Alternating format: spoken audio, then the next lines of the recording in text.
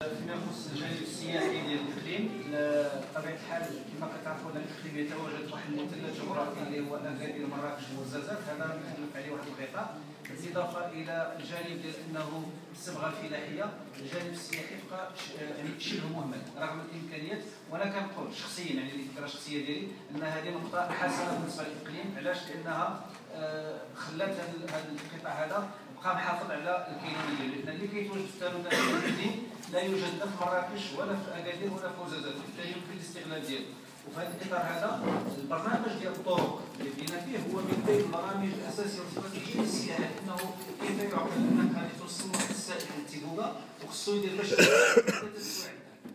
اللي تفتح الطريق غادي يولي نص ساعه غادي يولي المسار قريب كذلك المسالك اللي فتحناها بخلق واحد المدارات سياحية مدار ديال القرقاع مدار ديال الاركان مدار ديال اللوز مدار ديال العسل مدار إذا المدارات اللي حنا كنشتغلوا عليها باش نوضعوا واحد الاستراتيجية وكذلك مع المجلس الاقليمي للسياحة وضعنا مخطط اللي كنشتغلوا عليه باش نوصلوا إن شاء الله بحول الله السياحة لاحسن لأحسن ما يكون. بوحدي راه ما نقدر ندير والو. بوحدي راه ما نقدر ندير والو. عندي السلطة الاقليم عندنا هذا ولكن راه كذلك كيبقى المشاركة ديال الجميع.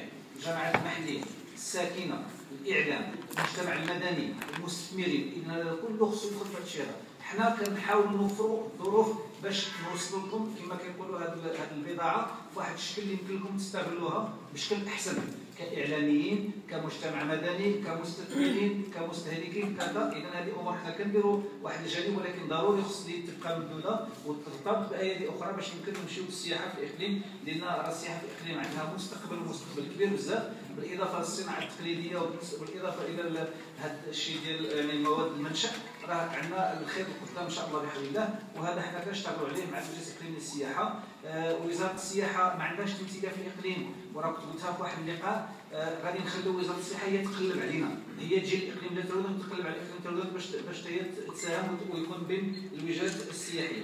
النقطة ديال الماء والخصاص ديال الماء عندنا على 3300 دوار